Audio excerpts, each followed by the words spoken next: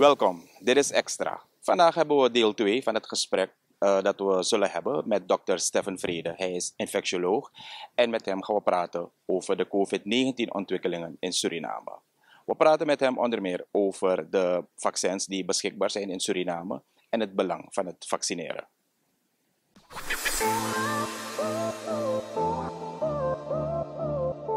Vaccineren blijft sowieso een interessant onderwerp om over te praten, dokter. Uh, u bent er eenmaal mee begonnen, dus dan gaan we lekker verder met uh, dat gedeelte uh, met betrekking tot het vaccineren. op dit moment zijn er in Suriname een viertal vaccins beschikbaar. AstraZeneca, Sinopharm, Moderna en recentelijk ook nog Pfizer. Um, de vraag die uh, velen ook hebben gesteld is: uh, kunnen mensen die gevaccineerd zijn, volledig wel te verstaan, uh, toch nog ziek worden? ja, die vraag heb ik al heel vaak beantwoord, maar ik zal hier daar nog even duidelijk op ingaan. er zijn diverse vaccins ontwikkeld, veel meer dan wij hier in Suriname hebben. En waar die vaccins vooral op beoordeeld zijn, want dat was het belangrijkste, dat was onze belangrijkste uitdaging. Uh, zorgen dat er niet zoveel mensen doodgaan. Dat is één. Maar ook zorgen dat er niet zoveel mensen in het ziekenhuis terechtkomen. Want onze ziekenhuiszorg, en niet alleen de onze, maar die overal in de wereld, raakt gigantisch uh, overstelpt door uh, COVID-opnamen. ik denk dat wij in de piekperiode hebben wij meer dan 200 uh, eh, ziekenhuisbedden aan uh, COVID-patiënten moeten uh, besteden. En dat is enorm. beseffen dat wij in Suriname nog niet eens duizend ziekenhuisbedden hebben, all over. Dus dan is meer dan 200. Het is een gigantische aanslag op onze ziekenhuiscapaciteit. Um, en zoals u weet, as we speak, zijn we al over de 700 doden aan, aan COVID. Het doel van vaccinatie was dus uh, enerzijds uh, sterfte voorkomen, dan wel verminderen. En twee, ziekenhuisopname voorkomen en verminderen. En uh, in alle evaluaties van hoe effectief zijn al die, de, die, die vaccins, heeft de WHO al vastgesteld de effectiviteit van een vaccin moet minstens 50% zijn. Toch? Het moet minstens 50% reductie geven aan ziekenhuisopname, minstens 50% reductie geven aan sterfte. En alle vaccins die uh, uiteindelijk zijn goedgekeurd voor emergency use, bleken ver boven de 50% te performen. Het eerste vaccin dat uh, als het ware die uh, emergency use licensing kreeg, dat is het Pfizer-vaccin. Daarvan weet u dat hij een 94% gaf aan uh, reductie van uh, ziekenhuisopname en zelfs een 100% reductie van sterfte. Dus dat is een geweldig succes. Als jouw doel is meer dan 50% en je zit boven de 94%, dan you're great. De andere vaccins die hebben ook in dezelfde orde van grootte. De ene kwam op 78, de andere was 76, maar allemaal uh, ruimschoots voldoende om nuttig te zijn om deze ramp te keren, namelijk sterfte en ziekenhuisopname uh, uh, terug te dringen. Dus um, het is nooit het doel geweest, want dat geldt voor geen enkele therapie, dat je 100% van de mensen zal genezen. maar als je tussen de 80 en de 95% van de mensen geneest, dan is dat al een behoorlijk uh, resultaat. Uh, uiteraard wil je voor de 100% gaan, maar ondanks het feit dat we nu al bijna twee jaar met uh, COVID leven, is er nog geen enkel medicament dat 100% overleving geeft. Laat staan een vaccin. Dus um, we hebben grote successen geboekt, maar 100% dat krijg je alleen maar in de hemel. Ja.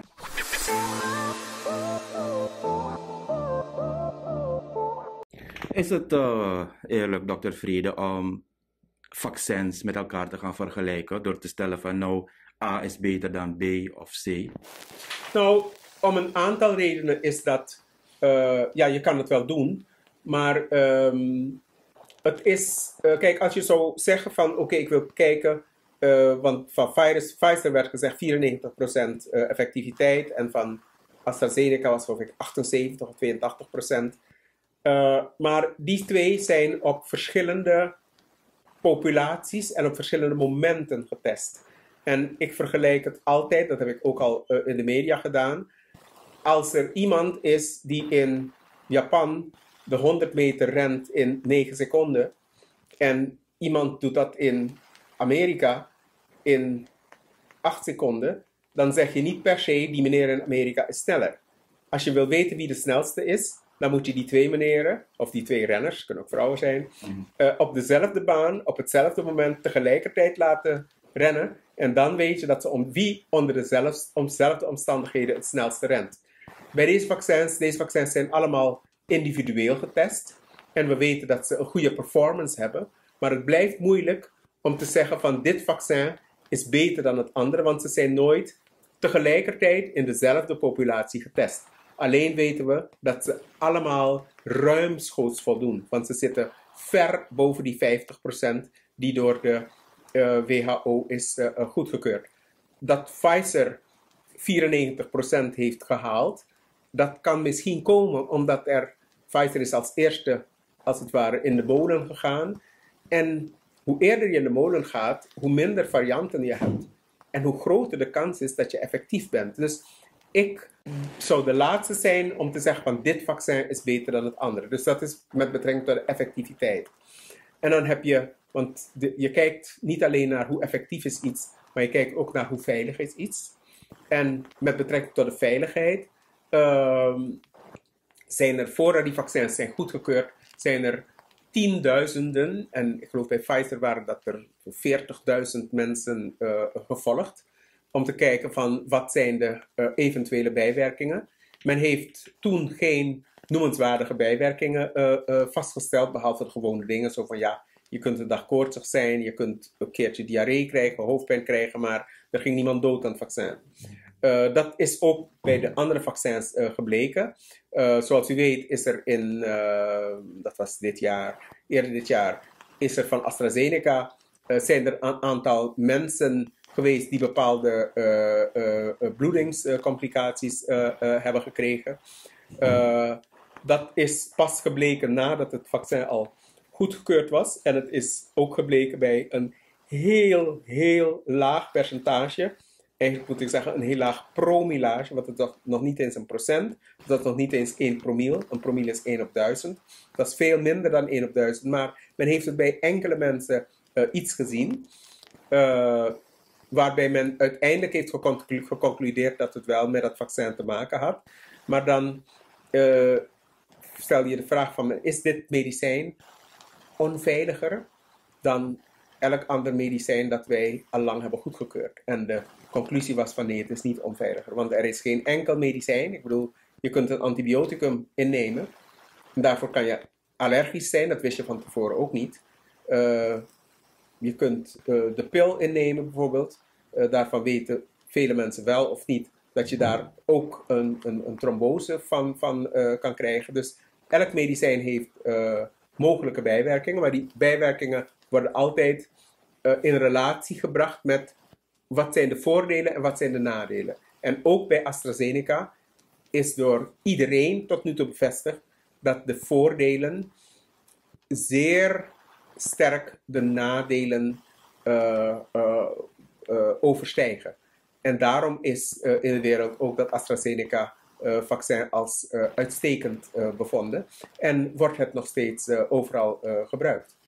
Ja. ik wil nog één ding zeggen daarover die vaccins zijn, kijk, testen van medicijnen, dus niet specifiek vaccins, wordt altijd het eerst gedaan op dieren.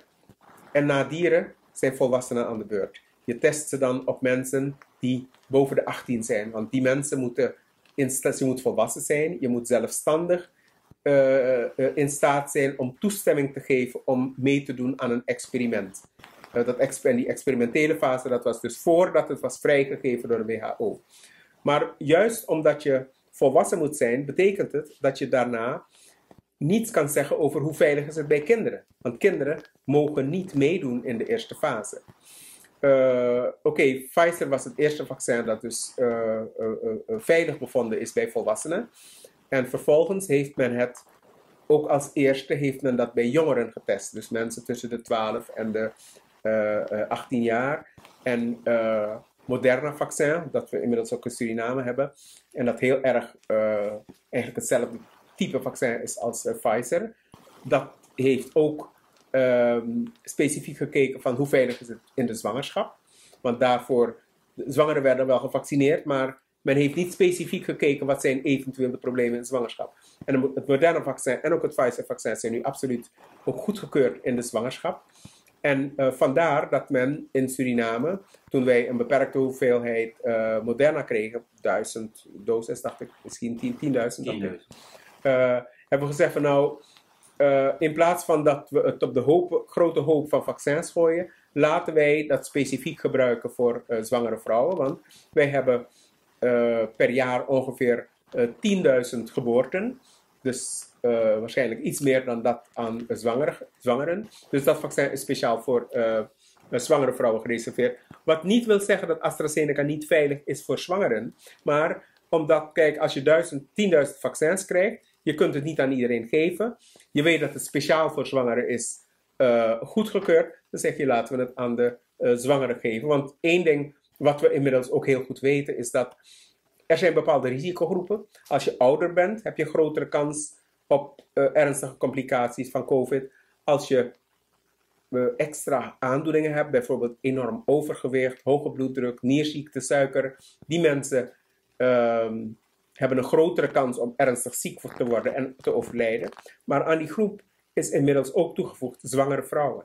Als je in de zwangerschap COVID krijgt, heb je een verhoogd risico op een slechte uitkomst van de infectie. Dus um, hebben wij ook specifiek zwangeren geadviseerd: laat je vaccineren. Het is veilig voor je kind en het is ook beter voor jou. En uh, daarom hebben wij een paar maanden geleden dus de zwangeren opgeroepen om allemaal te komen voor het uh, moderne vaccin. Maar daarvoor zijn er ook al zwangere vrouwen met uh, AstraZeneca gevaccineerd en dat is ook prima gegaan.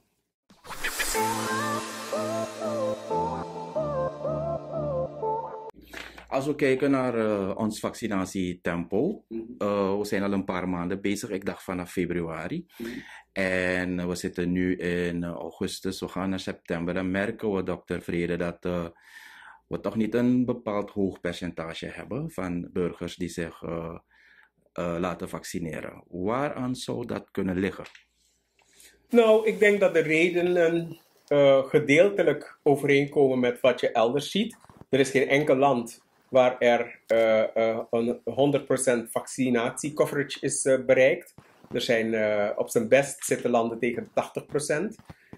en waar ligt dat aan?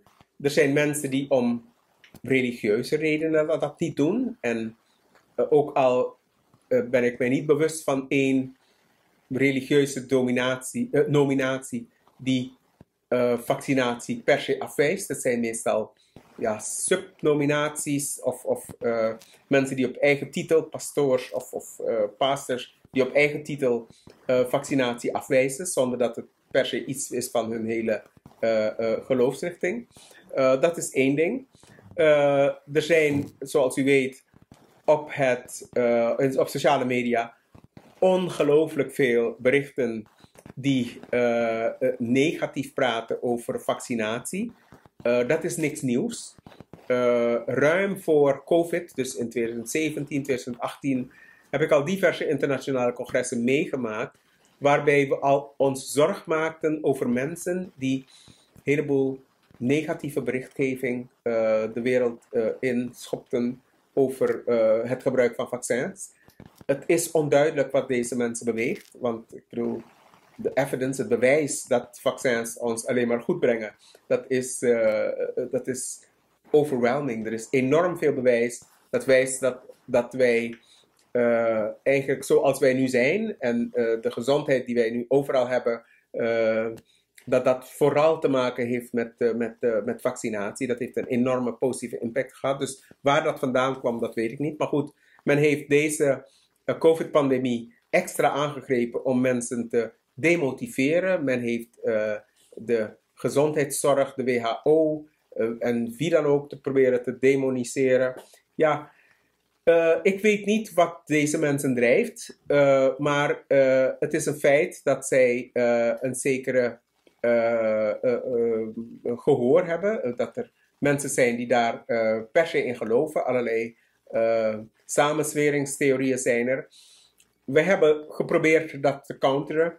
En ook door met mensen in gesprek te gaan en ze proberen aan te geven of duidelijk te maken of te vragen waarom zij die samenzweringstheorieën zo logisch vonden. Hè? Want sommige mensen denken dat je bepaalde etniciteiten zou willen uitroeien, maar ik zou zeggen van maar welke dan? Want eh, zowel in Europa, Azië, Afrika, dus eh, wie dan precies zijn ze aan het uitroeien? Dus eigenlijk kun je uh, pratend met mensen die tegen vaccinatie zijn, niet tot een logische conclusie komen waarom ze dat niet doen. aan de andere kant, maar dat is vooral mijn, mijn visie, we kunnen niet bezig blijven.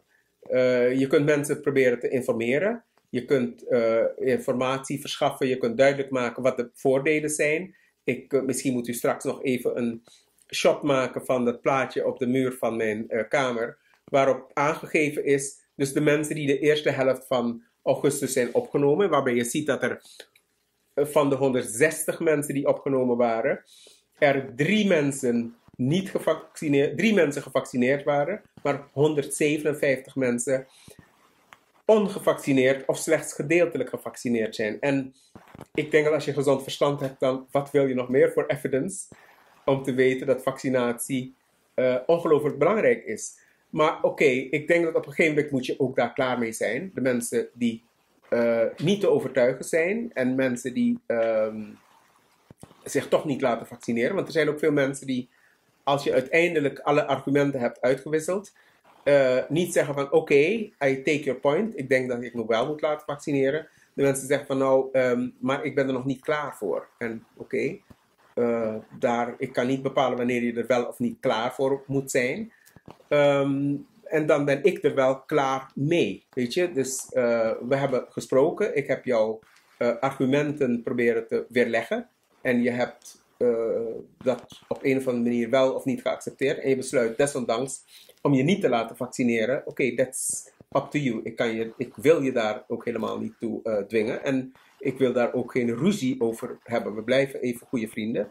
Maar ik denk dat het uiteindelijk wel bepaalde consequenties heeft. Want ik als uh, dokter in het ziekenhuis, ik heb me dus heel erg bezig gehouden met voorlichting, met, op de radio, op de televisie. Maar aan de andere kant heb ik ook in het ziekenhuis hard gewerkt. Zowel op mijn polykliniek als in het ziekenhuis uh, op de afdelingen waar er uh, COVID-patiënten uh, liggen. Ik heb heel veel van mijn polyklinische patiënten moeten afzeggen, omdat ik mijn tijd aan de COVID-patiënten wilde wijden. En dat heb ik niet, niet alleen ik gedaan, dat hebben heel veel dokters gedaan. En eigenlijk heb je daarmee heel lang, eigenlijk meer dan een jaar, heb je andere patiënten ja, verwaarloosd, of in ieder geval heb je ze onrecht aangedaan. Want die mensen hebben ook recht op zorg.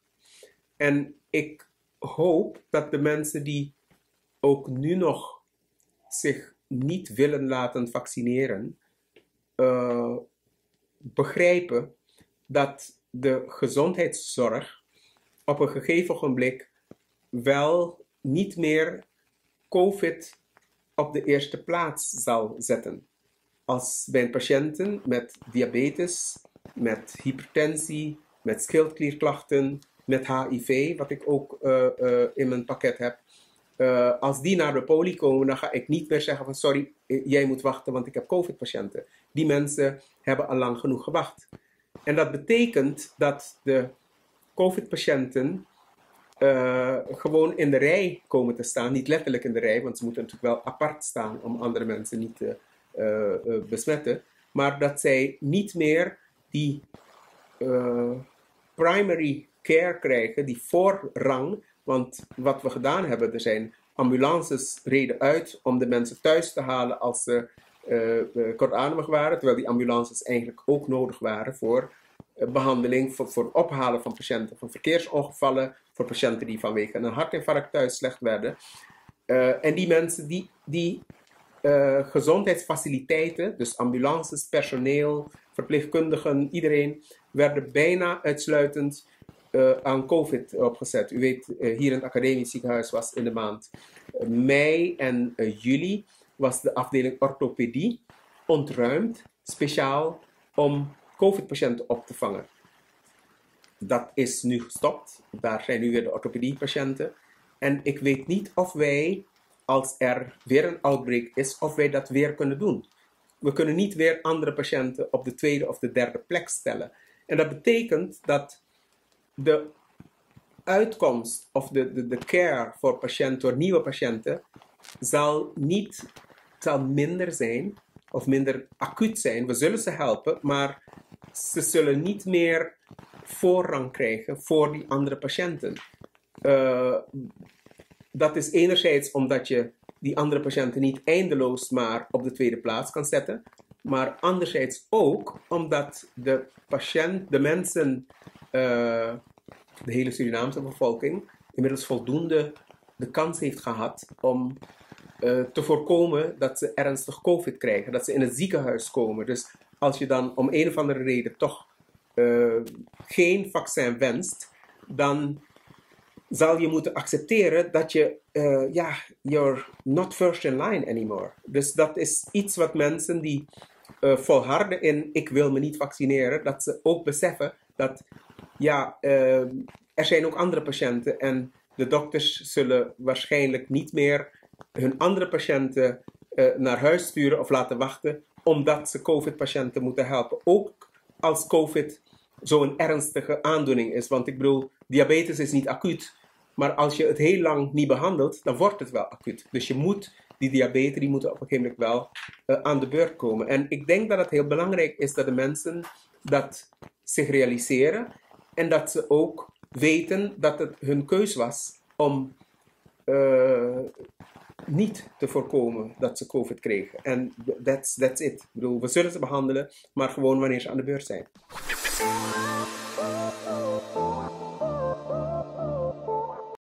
Oké, dokter Vrede, we hebben een aantal vaccins uh, beschikbaar in Suriname. Uh, waarin ligt het verschil precies van deze vaccins?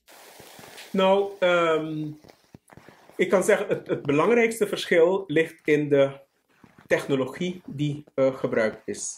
De, het Pfizer-vaccin en het Moderna-vaccin, maar ook het AstraZeneca-vaccin, is eigenlijk gebaseerd op hele moderne technologie, zeg maar technologie van de eind 20ste, begin 21ste eeuw. Technologie die heel, heel uh, uh, modern is.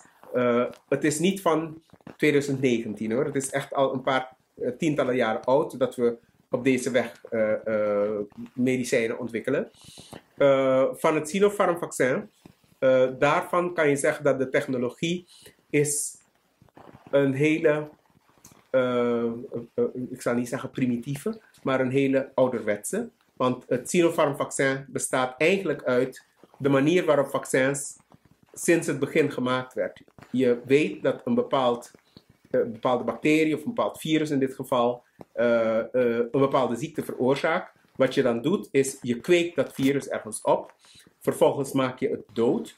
Of door het in heet water te zetten of het in zuur uh, te inactiveren of te bestralen. In van die maakt het dood. En dan zuiver je het. Je haalt allerlei uh, onzuivere bestanddelen daarin weg. En wat je dan inspuit is gewoon dood virus. Uh, dat dood virus, het lichaam merkt niet per se dat het dood is, maar de immuunreactie die het lichaam daarop opwekt is hetzelfde als wanneer het virus nog levend zou zijn. En dat zorgt ervoor dat wanneer het lichaam wordt blootgesteld aan levend virus, dat het als het ware de antistoffen en speciale cellen al in place heeft om het levende virus te, te, doden. De moderne virussen, de moderne vaccins zijn er vooral op gebaseerd dat ze sneller in fabrieken te produceren zijn. Dat is één. Twee, dat ze Ja, ze zijn zuiverder. Want kijk, een dood vaccin of een, een, een dood virus, daar kan in principe allerlei rommel nog tussen zitten, vervuiling. Dus dat moet je opzuiveren. Dat gaat vrij nauwkeurig, dus dat is uh, niet echt een probleem. Maar uh, dat is eigenlijk het, het, het verschil in de, in de uh, vaccins. En ja, ik heb ook in de media gezegd van mensen die niet in de moderne technologie geloven, die moeten dan, hebben dan nu gelukkig de keus om in een, een, een, een, uh, een uh, om met Sinopharm vaccin te nemen. Maar aan de andere kant zeg ik van ja, er zijn, iedereen rijdt in auto's. Er zijn geen mensen meer die op een, op een, een paard en wagen door de stad gaan. Want dat is het verschil eigenlijk. Uh, de, de, de, de, de Sinopharm is eigenlijk een Burikiwagi. En, een, een, een, en de andere vaccins, dat zijn een Ford Ranger, om maar wat te noemen. En ik denk dat de meeste mensen die eens de keuze zou willen geven van... ga je nou naar je werk in een Burikiwagi of in een Ford Ranger... ik weet waar de meeste mensen voor zouden kiezen. Dus, en dat is eigenlijk het verschil. Het is een verschil in technologie. En iedereen vertrouwt de Ford Ranger en andere merken hoor. Ik maak geen reclame, sorry. Uh, maar. Uh, we komen allemaal op het werk terecht. We komen allemaal op het werk terecht. Ook zelfs met de Burikiwagi. Dus it's, it's just your choice. SARS CoV 2 is a novel coronavirus that is responsible for the COVID 19 infection. The virus works by entering healthy human cells through the crown shaped protein spikes on its surface. A promising candidate for the treatment of COVID 19 is a messenger RNA based vaccine from Moderna Medical. Messenger RNA, or mRNA, are strands of genetic material similar to DNA that ribosomes in the cell use to synthesize proteins. Moderna's mRNA vaccine contains the instructions to synthesize the crown shaped protein spikes on the surface of the SARS CoV 2 virus. The vaccine is encapsulated into a lipid layer that allows it to enter the cell.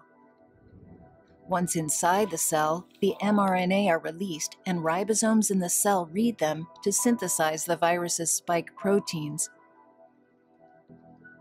which are then released from the cell. The spikes themselves are not harmful, but the human immune system perceives them as though the body has been infected with COVID 19. In response, the immune system produces antibodies against the SARS CoV 2 virus. In the presence of an actual COVID 19 infection, these antibodies prevent the virus from entering a healthy cell by attaching themselves onto the spike proteins, thereby blocking their entry into the healthy cell and thus creating immunity.